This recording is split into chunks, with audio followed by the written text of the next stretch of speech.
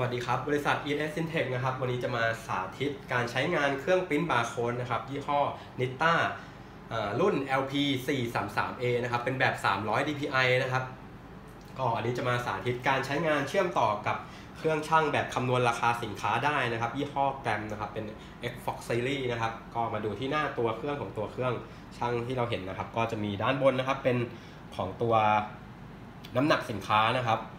แล้วก็เมนูที่ 2 เป็นน้ำหนักต่อกิโลกรัมนะครับ แล้วก็อันสุดท้ายจะเป็น gen ว่า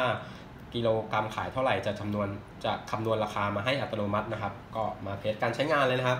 โอเค มาดูที่แบบฟอร์มเรานะครับ จากคลิปที่แล้วนะครับ เราสาธิตการใช้งานเป็นการใส่ฟอร์มอัดฟอร์มไว้ในเครื่องนะครับ ใส่ไว้ใน SD card นะครับ อันนี้เราจะมาสาธิตให้ดูแบบใส่ไว้ใน flash disk นะครับ คือนอกเครื่องนะครับ ก็กดเข้าไปดูเลยครับ นี่ก็จะเจอแบบฟอร์มครับ มีเนื้อหมู 3 ชั้น เนื้อไก่อกแตงโมเหลืองนะครับ อันนี้ผมเทสที่เนื้อไก่อกนะครับก็กดเข้าไปใช้งานได้เลยครับนี่เพื่อทำการแบบว่าให้เราพร้อมช่างสินค้านะครับ ก็ให้เราวางสินค้าเข้าไปนะครับ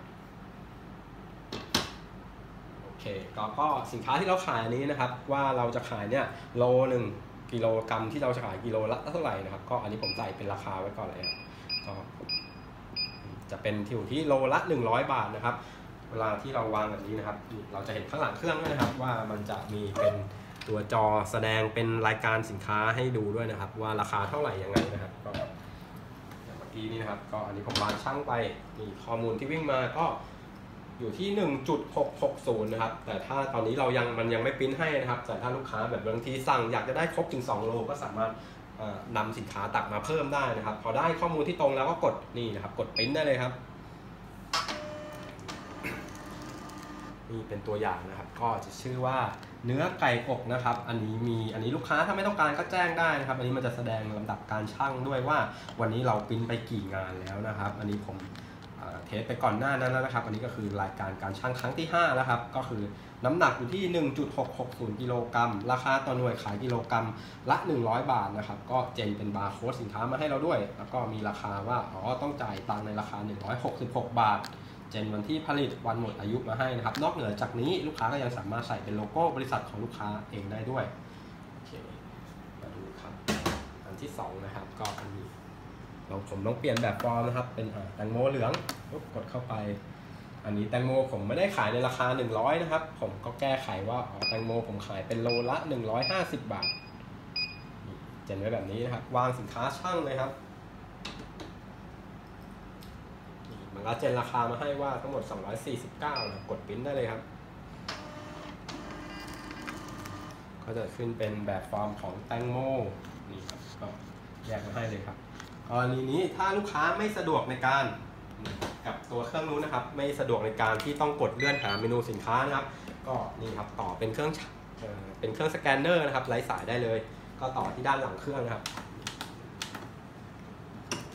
ก็ต่อเข้าไปเลยครับ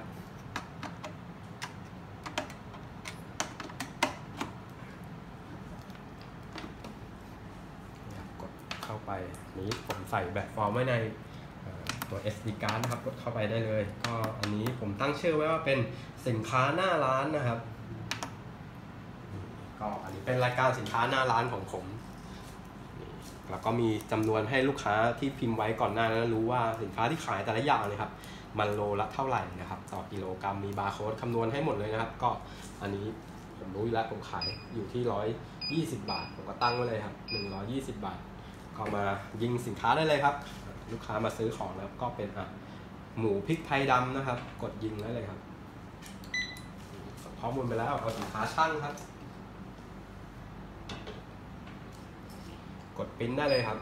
ก็จะเจนรายการสินค้าพริกไทยดำมาหมูพริกไทยดำมาให้นะครับนี่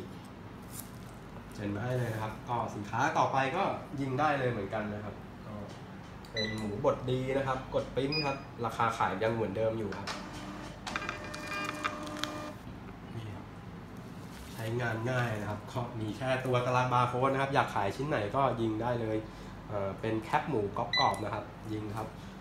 น้ำหนักของสินค้าผมไม่ได้เปลี่ยนนะครับ ก็กดปิ้นได้เลยครับค่อนข้างใช้งานง่ายนะครับ ก็ ลูกค้าสามารถสอบถามเพิ่มเติมมาก่อนได้นะครับ ว่ามันจุข้อมูลได้กี่รายการอะไรเงี้ยครับแต่ว่าถ้าเป็นตัวเครื่องของมันเองนะครับถ้ามันไม่ได้ทำการเชื่อมต่อกับเครื่องปริ้นมันจะใส่ได้ประมาณ 20 รายการนะครับจากของผมเยอะกว่านั้นแน่นอนนะครับสนใจการใช้งานเครื่องช่างเชื่อมต่อเครื่องปริ้นบาร์โค้ดแบบคำนวณราคาสินค้านะครับ ก็ติดต่อได้ที่บริษัท ES Syntech นะครับ 025301613 ขอบคุณครับ